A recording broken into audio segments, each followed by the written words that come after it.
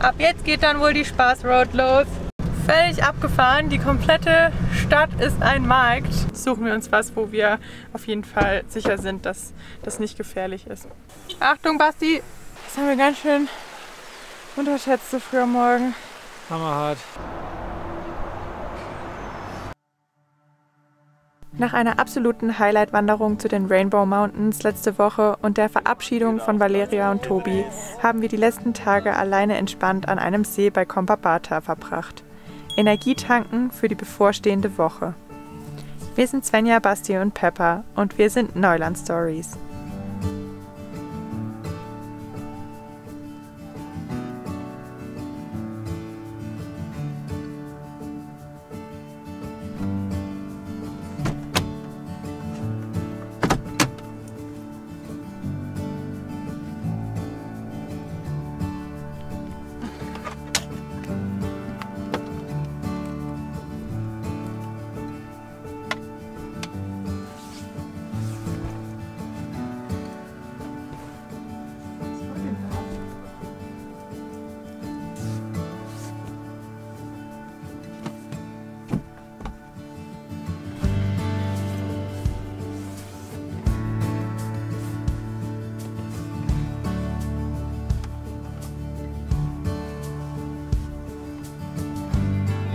Wunderschönen guten Morgen. Wir haben jetzt, glaube ich, insgesamt vier Nächte hier in dieser Lagune verbracht. Drei Tage, vier Nächte? Ja. Nee, äh, drei Nächte, vier Tage. Ja, so. Äh, das ist zwei Nächte, wie eher vier. eher vier, ne? Ja. Das ist auf jeden Fall das längste, was wir seit langem mal an einem Platz verbracht haben. Und das tat richtig, richtig gut. Wir haben jetzt aber wirklich so gar nichts mehr. Also weder Wasser noch Essen. Deshalb, oder noch Strom. Deshalb geht es heute weiter und stehen ein paar grundsätzliche Erledigungen an.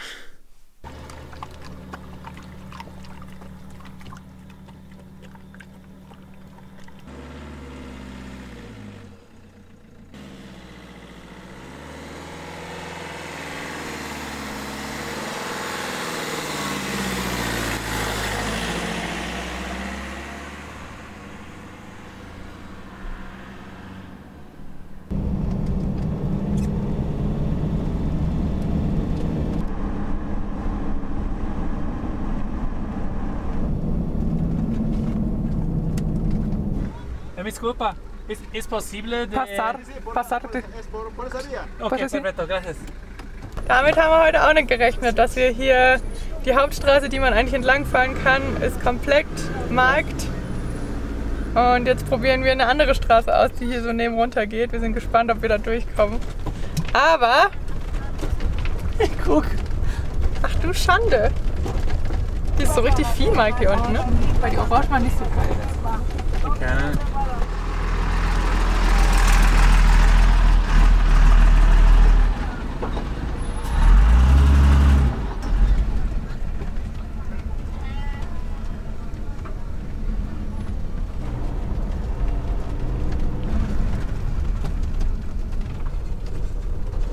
Er hat auch seinen Reifen etwas platt, ne? Ist ja fast größer als der in Quito.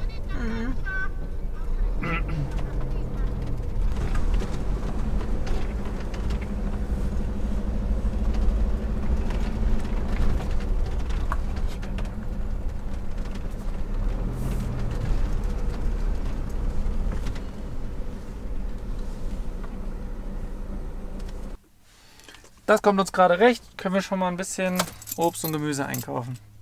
Haben wir schon mal wieder ein bisschen was auf Vorrat. Oder überhaupt. Gar nicht unbedingt Vorrat. Wir haben nichts mehr. Frische Sachen. Frische Sachen. Vorrat kaufen wir dann in der Stadt. So machen wir's.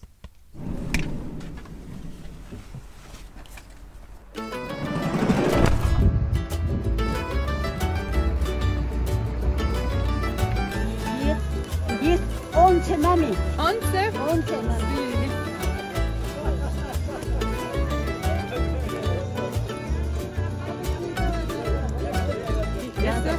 vas a probar y la próxima me vas a comprar. Pegas una, dos, a tres vas a partir. Sí. Ya, a por mitad vas a partir. Lo lavas igual que la papa al almuerzo. Okay.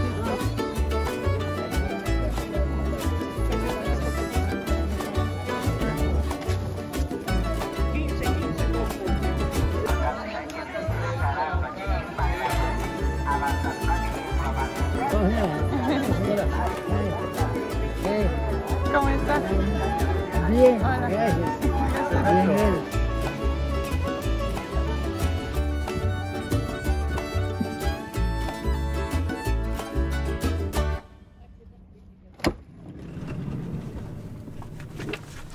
Hallo Pets. Das war spontan jetzt richtig cool und wir haben alles bekommen an frischem Gemüse und Obst. Jetzt brauchen wir nur noch. Was brauchen wir noch? So Konserven. Konservenkram.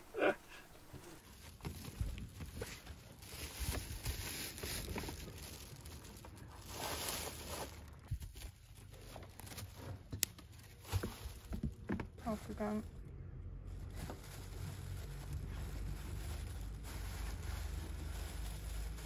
Hier gibt's Eier immer nur in der Plastiktüte. Muss ich vorhin Schlüssel oder?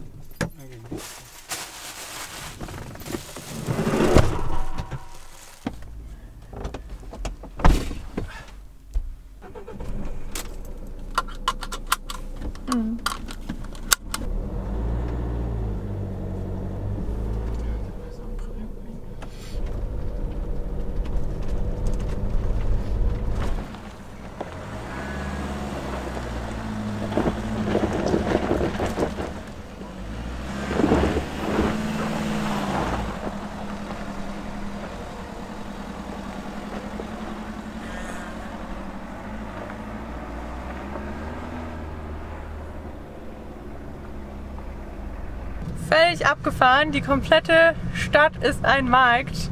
Es gibt, glaube ich, so gefühlt alles, was man sich nur vorstellen kann. Hier reiht sich ein Ko- Kollektivo ans nächste und es sind einfach nur so viele Menschen hier unterwegs. Es hat jetzt gerade richtig Spaß gemacht. Es war eine richtig schöne, spontane Gelegenheit, das hier mal so kennenzulernen. Und es waren, also es war nichts touristisch hier. Das hat uns ein bisschen gewundert, weil der Markt schon echt beeindruckend ist. Und Halt keine Touristen. Ja, aber es ist halt eigentlich nur anderthalb Stunden von Cusco entfernt, also von dem Touri-Ort. Deswegen hat es mich jetzt schon ein bisschen gewundert. Und von hier aus geht es ja zu den Rainbow Mountains. Naja, anyway. Wir haben schöne Einkäufe gemacht und fahren jetzt weiter Richtung Cusco.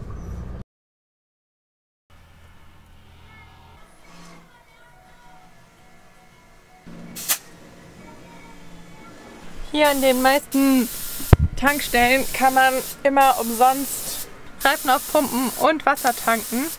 Hier in der Region soll es aber jedoch ein bisschen schwieriger sein, weil hier so viele Minen ähm, oder weil es hier in der Region so viele Minen gab oder immer noch gibt, ähm, dass das Wasser auch wirklich trinkbar ist und dadurch, dass wir trotz mit Filtern das Wasser ja trinken aus unserem Wassertank, ähm, suchen wir uns was, wo wir auf jeden Fall sicher sind, dass das nicht gefährlich ist.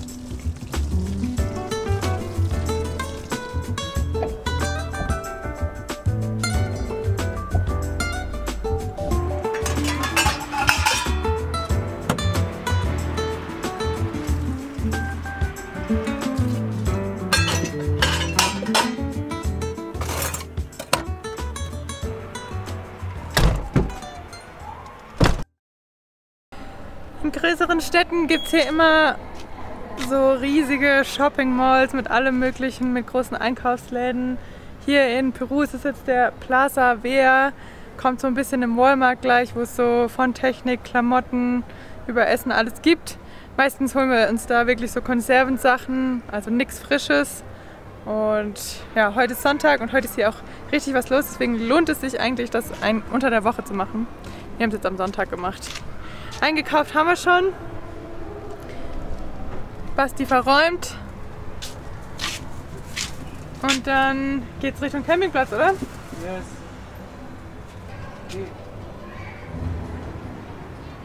Wir haben uns gerade entschieden, dass wir doch erst morgen auf den Campingplatz fahren. Wir sparen uns das Geld für die Nacht für heute und spendieren das lieber einem Restaurant. Ich hab hier durch. Ja, wir Durst. Ähm, und dann fahren wir morgen dahin und können den ganzen Tag das, das da nutzen, den Campingplatz. Sonst würden wir jetzt da im Dunkeln ankommen und haben eh nur noch irgendwie noch den Abend. Und aus dem Essen gehen ist auch nicht schlecht.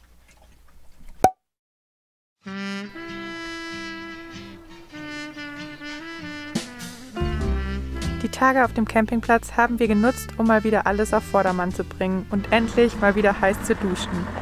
Nach einem kurzen Besuch in der Altstadt von Cusco kann es jetzt weitergehen.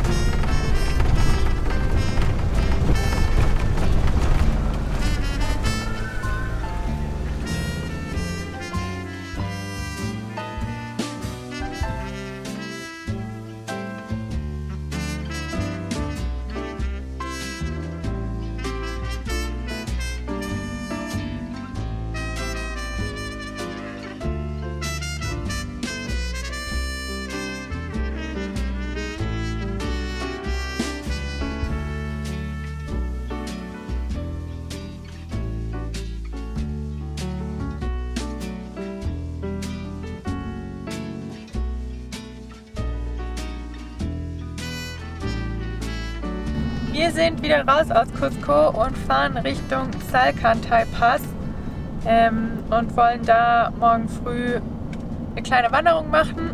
Und der Weg dahin ist einfach schon wieder richtig schön. Die Berge sind so unbeschreiblich.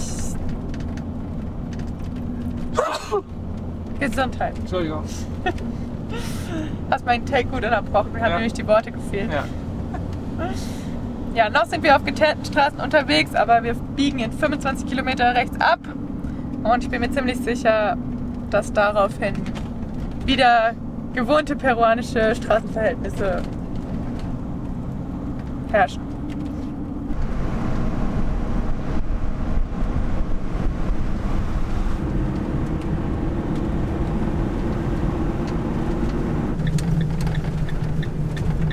Geteert. Wir nehmen, was wir kriegen können, ha? Freu dich doch nicht so früh. Nee, mach ich nicht.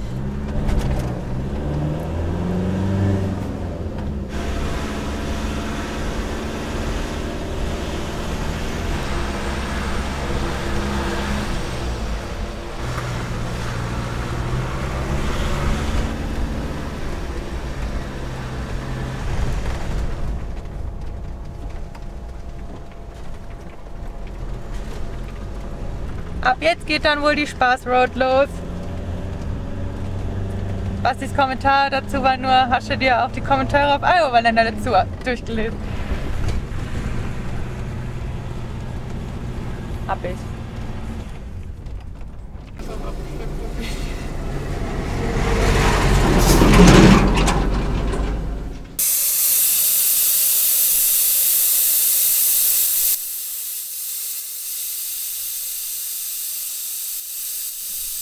Kurzer Zwischenstopp, um zu tun, was getan werden muss auf diesen Straßen.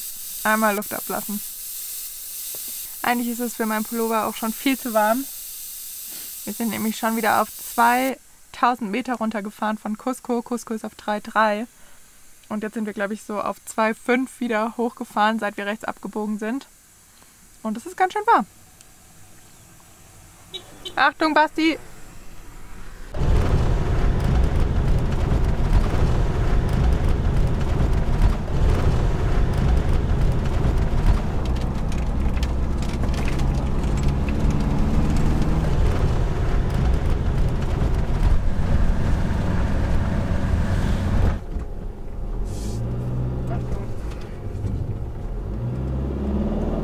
So geschickt.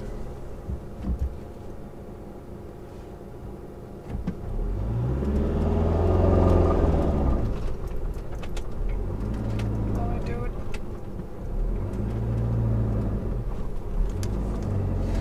Sagen wir es mal so, landschaftlich war die Fahrt die ganze Zeit nicht so schön für uns, weil wir eigentlich hauptsächlich staubige Pisten gesehen haben und keine Ahnung, bestimmt 30, 40 äh, Touristenvans, die uns entgegengekommen sind und wir die ganze Zeit damit beschäftigt waren, denen auszuweichen.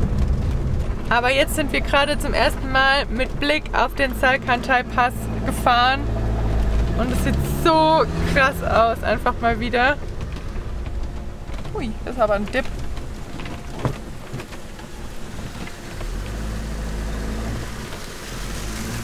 Es sind jetzt nur noch 5 Kilometer. Wir freuen uns auf jeden Fall, wenn wir angekommen sind.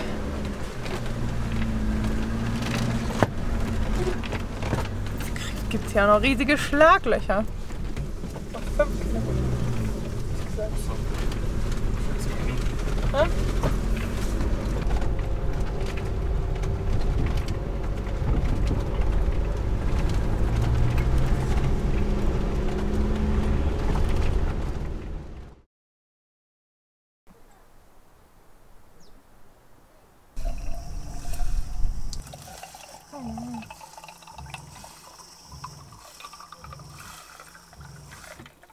Der Weg war viel härter als erwartet.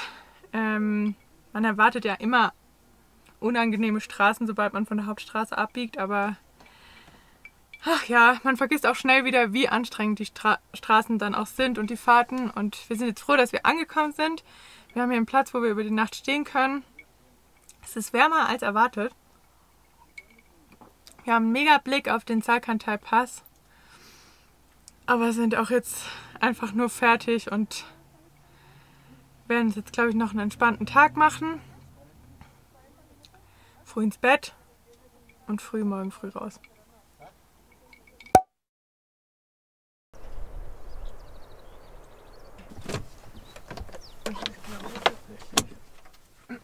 Schlaflöcher, nur ein bisschen so lecker.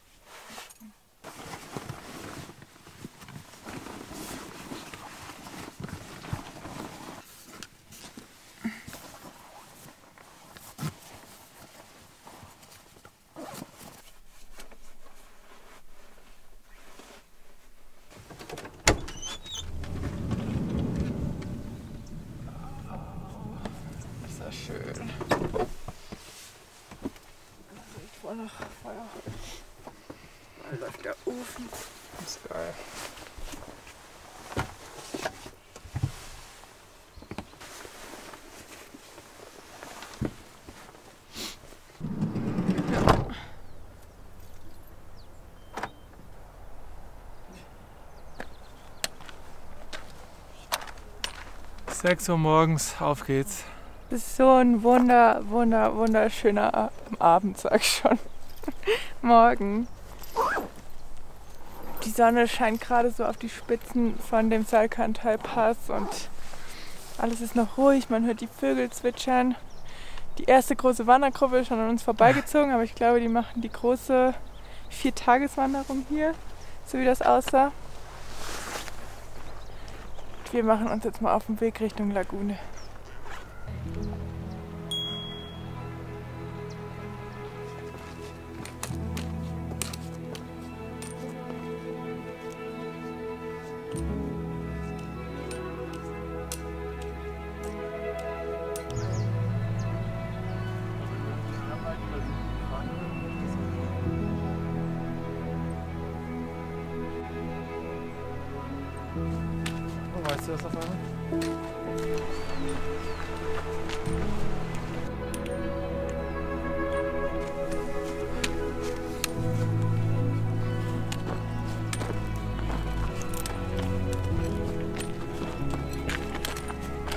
Glaube, ich konnte an meinem Atem hören, aber das ist einer der anstrengendsten Anstiege seit langem. Halleluja. Die Lagune will nicht einfach verdient sein.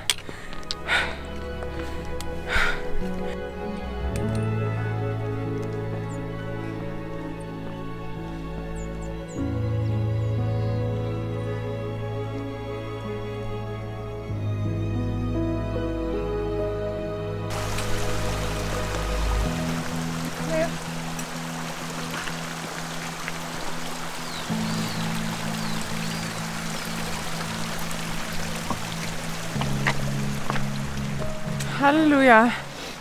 Das haben wir ganz schön unterschätzt so früh am Morgen. Hammerhart. Kranker Scheiß. Aber wir glauben, es geht nur noch um die eine Kurve. Das packen wir noch und da oben ist dann Sonne.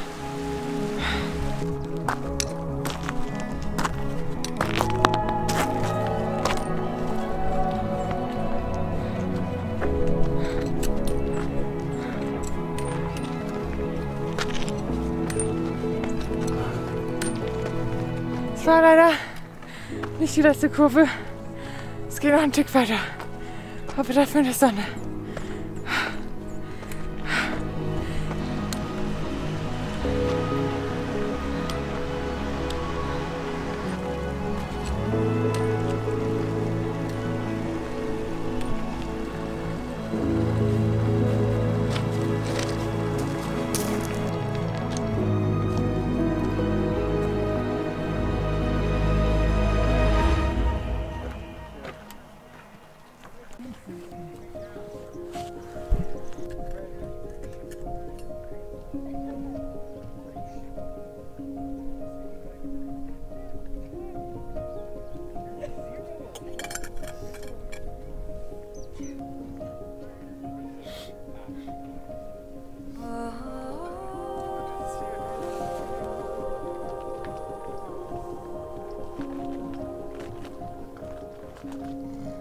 Völlig fertig. Völlig kaputt. Gucken wir mal, was Snackly Sackly auf Lager hat.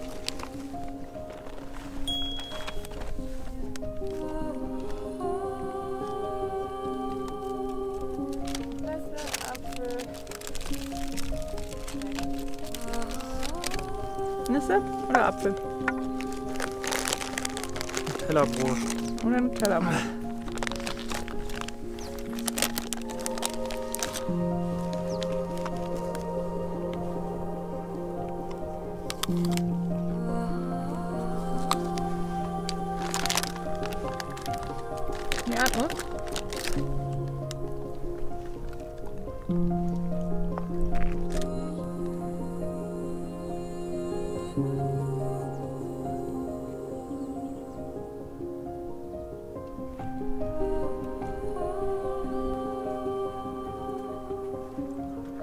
Berge sind einfach sowas unglaublich Schönes.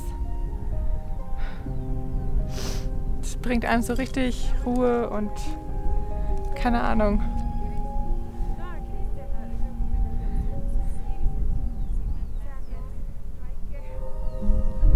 Komm hier, Paps.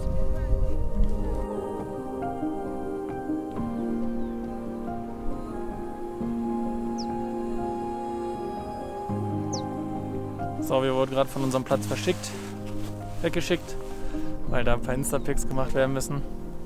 Jetzt dürfen wir nicht mehr auf unserem Stein sitzen. Und es wird auch extrem voll langsam, deswegen gehen wir jetzt wieder runter.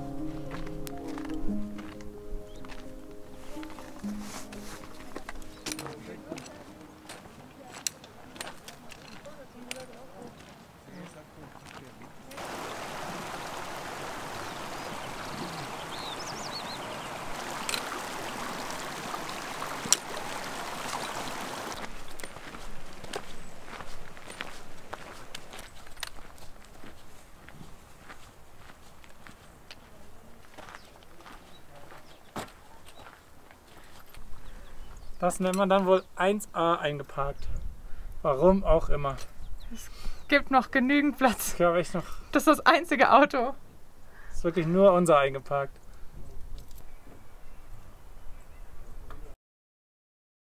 So, wir konnten schon ausparken. Hat gar nicht lange gedauert, denn der Fahrer war ziemlich in der Nähe. Der hat nämlich im Auto gepennt. Der war ziemlich in der Nähe. Also alles halb so wild, mussten nicht lange warten. Und dadurch, dass wir jetzt das Auto schon angemacht haben und aus der Parklücke gefahren sind ähm, und wir hier wieder auf 3800 Meter sind und das ja nicht so geil ist, das Auto immer an- und auszumachen auf der Höhe, werden wir jetzt direkt runterfahren und dann trinken wir unseren verdienten Kaffee unten. Dass du mal Kaffee sagst. Naja, bei mir, das weiß doch jeder, bedeutet Kaffee Chai.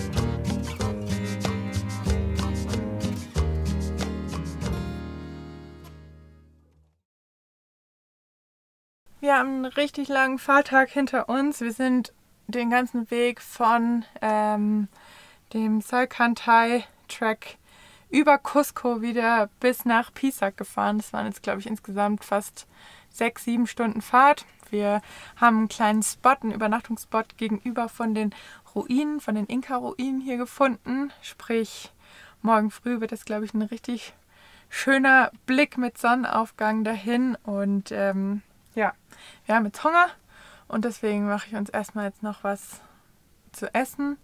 Und ja, ich weiß gerade noch gar nicht so genau. Ich glaube, ich mache uns einen Curry.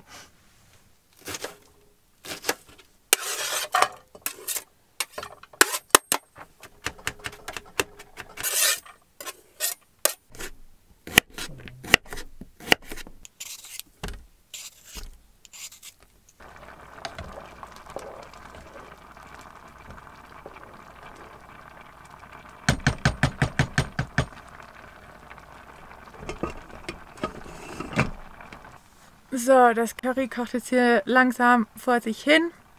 Freuen wir uns gleich schon drauf, aber ich dachte, ich nehme mir noch mal kurz die Zeit, um das, was wir heute so erlebt haben, Revue passieren zu lassen. Ähm, die Wanderung zu der Laguna Humantel war natürlich mega, mega schön, super anstrengend und gleichzeitig waren wir aber auch froh, dass wir eine Wanderung gefunden haben, wo wir Peppy, also wo Hunde erlaubt sind, wo wir Peppy mitnehmen konnten und ja, aber auf dem Rückweg diese ganzen Massen an Touristen zu sehen und letzten Endes dann auch zu sehen, wie Mensch und Tier dann wieder ausgenutzt werden für ja, die eigenen Erlebnisse, um dann vielleicht am Ende oben auf dem Gipfel ein Foto schießen zu können.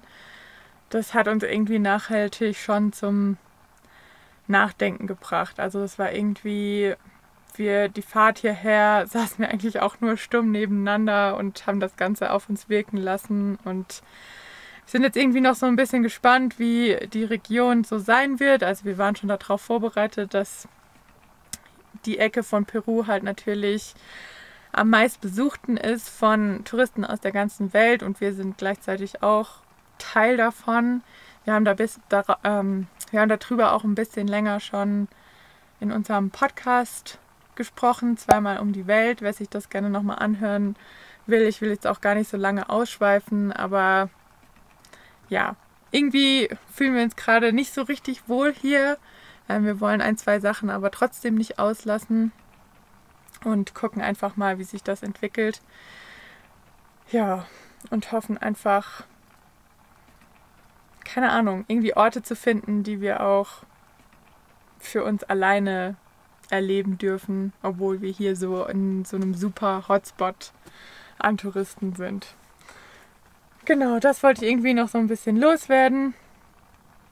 Ähm, wer Interesse hat, wie gesagt, hört noch mal rein in unsere Folge zweimal um die Welt. Wir verlinken sie links oder rechts. Ähm, wir warten jetzt noch, bis das Curry fertig ist und äh, machen uns dann noch einen gemütlichen Abend. Das war es auch für diese Woche. Danke, dass ihr eingeschaltet habt. Wenn euch die Folge gefallen hat, dann gebt dem Video natürlich ein Like. Das würde uns und unserem Kanal sehr helfen und wir würden uns sehr darüber freuen. Kommentiert ein Support-Herz unten in die Kommentare und ähm, das Emoji der Woche ist, ich würde sagen,